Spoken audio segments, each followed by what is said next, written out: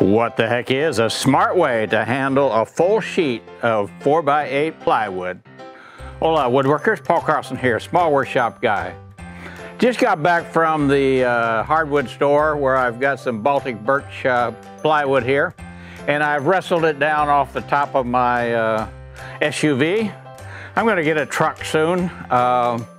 Particularly so I can go uh, RVing uh, and go visit workshops all over the country.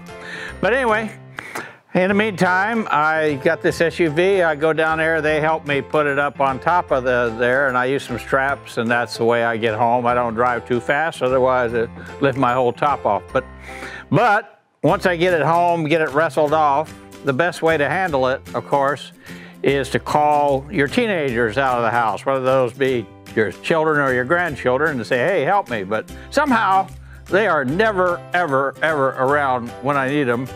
And when they do help me, they make it seem like it's such an imposition that I just don't want to ask them again. So, so how can, uh, you know, a person that doesn't have, uh, you know, isn't six foot six, doesn't have a wingspan, well, doesn't have the gripping power just to lift that up and carry it, how, how can, uh, in this case, an 80-year-old, almost 80-year-old old coot handle this puppy? Well, it's all in leverage. There's no way I can get that up and pick it up and carry it in. But there's a really cool little tool that you can get for not much money. And it's a little plywood carrier. It's designed so that you can put it under that sheet of plywood and then you don't have to get all the way to the bottom. You can get in a position like this. Let me demonstrate. Now, the first thing you gotta do is get this in position and you want it positioned in the middle of the board.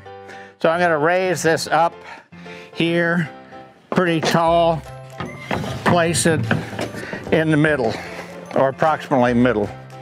Now, the way this works, and I'll just carry it into my workshop, I'm trying to get it in where I can break it down. So I just get a hold of this here.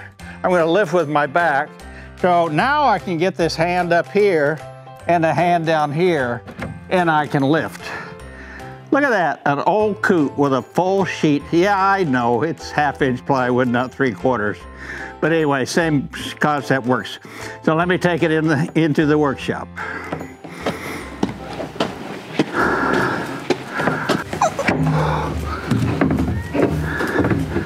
All right, so this allows you to get it high enough that you can get it propped up onto your table saw.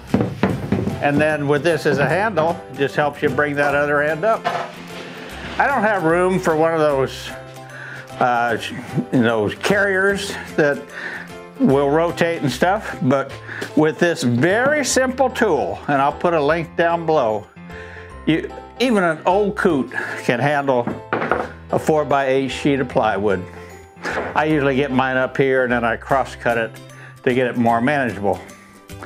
Well, give me a like and a subscription if you would. Trying to produce a whole lot of what the heck is videos designed for beginning woodworkers. Just little tips and techniques that might be searched for later. If you don't like the video, hit the uh, thumbs down button, but but really, show me you really don't like it and hit that thumbs down button twice. Small workshop guy reminding you, you can't stop the waves like this big old piece of plywood, but you can learn to surf. Small workshop guy, signing off.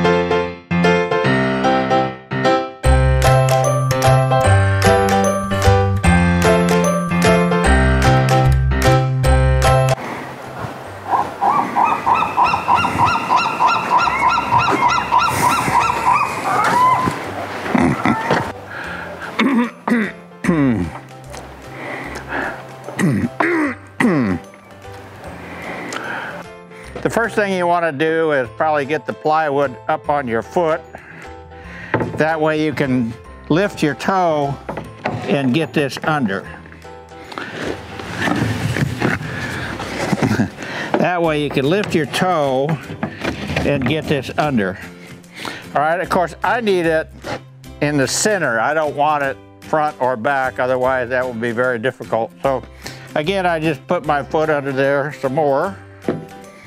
And uh,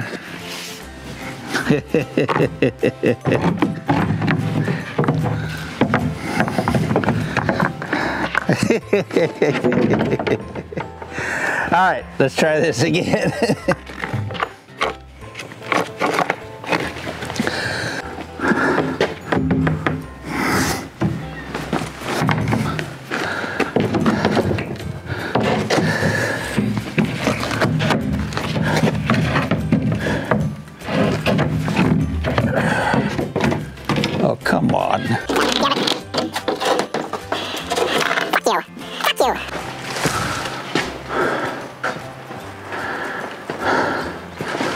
Whoop, we gotta make sure I edit that off.